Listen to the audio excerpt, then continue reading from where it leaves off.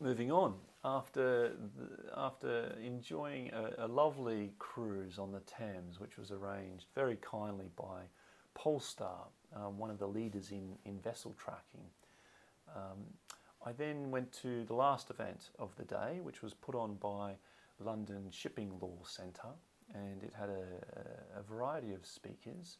It was chaired by the highly engaging, the Honourable Sir Bernard Eder, and just to quickly go through the highlights of that presentation, I'll, kind of skip through these for you. Uh, Christopher Moss, who's one of the most experienced LMAA arbitrators, he gave a summary of the recent changes to LMAA terms. The changes are not really groundbreaking, um, but there are some there are some more levers given to the arbitrators to ensure the swift progress of London arbitrations, which I think that's that's welcome. Although, as I say, um, the the policy decision of the LMAA was really to um, uh, maintain what is a, is a good working um, set of rules. Uh, the second uh, talk was given by um, Juliet Blanch.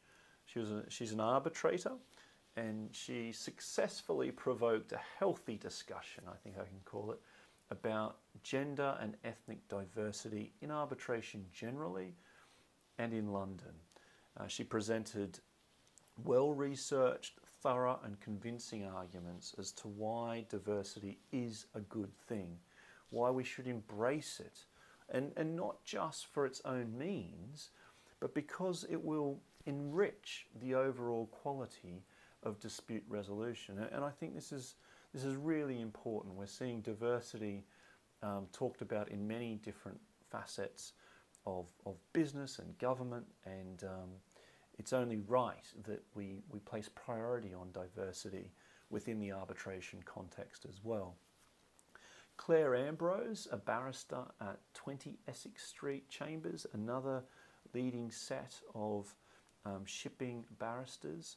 Uh, Clare gave a useful explanation of anti-suit injunctions pre and likely post Brexit. Um, the upshot is that there may be some changes around the edges, but um, the substantive prohibition against anti-suit injunctions within the EU context is unlikely to change after Brexit.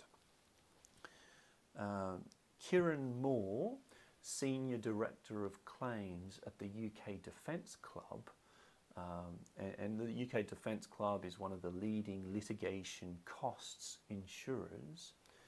Um, Kieran made some important points about costs control in arbitration.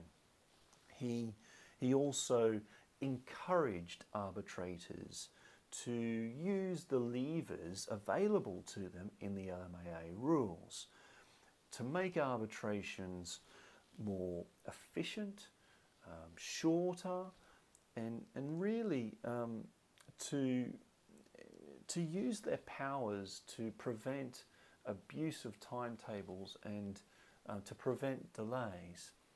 He also noted that users of London arbitration, uh, LMAA arbitration, such as ship owners, charterers, insurers, and of course their advisors. Um, so users of the arbitration process are certainly looking for certainty in costs as much as that is possible. And he identified and talked about the increasing prevalence of alternative billing arrangements and kind of pulling it all together masterfully, if if I may say, um, Sir Bernard suggested two useful ways of improving arbitration in London, and those two two suggestions were these: firstly, that um, we may wish to cap the time for any arbitration award to 12 months. Um, that is that any arbitration, no matter how complicated it is, should be able to be dealt with within one year. and he cited as an, as an example that this has recently been done in India. And secondly, um, for arbitrators to limit recoverable costs where appropriate. And upon asking the audience, it appeared that, quite frankly, this hasn't been happening much. And um, it, it will be to London arbitration's benefit if arbitrators are, are firm on uh, what are reasonable costs. Finally, um, Sir Bernard implored the audience to sign the pledge referred to in Juliet's presentation earlier to promote gender diversity.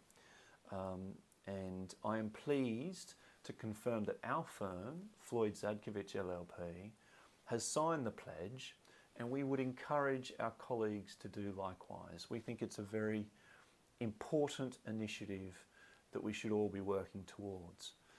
So it was a great start, great day, really enjoyed it. Um, lots of uh, engaging, relevant, um, informative presentations today at London International Shipping Week.